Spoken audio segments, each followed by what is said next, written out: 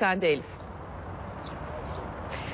Evet bu Sebiçer Vakıftepe'deyiz. Fatih Sultan Mehmet Köprüsü'nü oldukça iyi gören bir yerdeyiz. Sizler de görüyorsunuz kameraman arkadaşım Alpcan Sayılı'nın görüntüleriyle trafik oldukça yoğun ve bu trafik hastala kadar da bu yoğunlukta gidiyor. Özellikle otobüslerin ve tırların çok fazla olduğunu söyleyebiliriz. 18 Haziran'da başlamıştı Fatih Sultan Mehmet ve Haliç köprülerindeki bakım onarım çalışmaları ve İstanbullular trafikte sıkıntılı günler e, yaşamaya başlamıştı 18 Haziran'dan itibaren.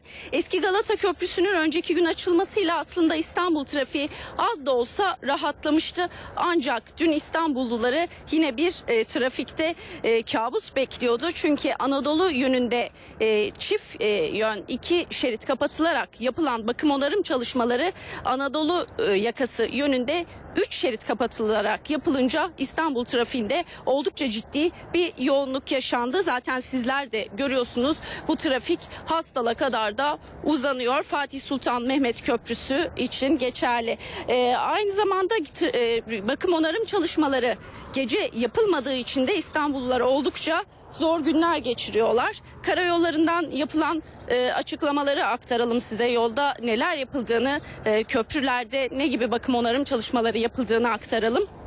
Fatih Sultan Mehmet'te e, Mehmet Köprüsü'nde asfalt kırma, e, kırma ve harfiyat işlemleri gece boyunca devam ediyor. Tüm izolasyon malzemelerinin söküldüğü vurgulanıyor. Karayollarının e, yaptığı açıklamaya e, göre izolasyon e, izolasyon malzemelerinin söküldüğü ardından önce kaba sonra da ince kumlama yapıldığı, çinko kaplamaların ardından asfalt uygulamasının yapıldığı belirtilmişti. Bu çar- e, çalışmaların arasında mesafe olması gerektiği için de çalışmalar gece gerçekleştirilemiyor.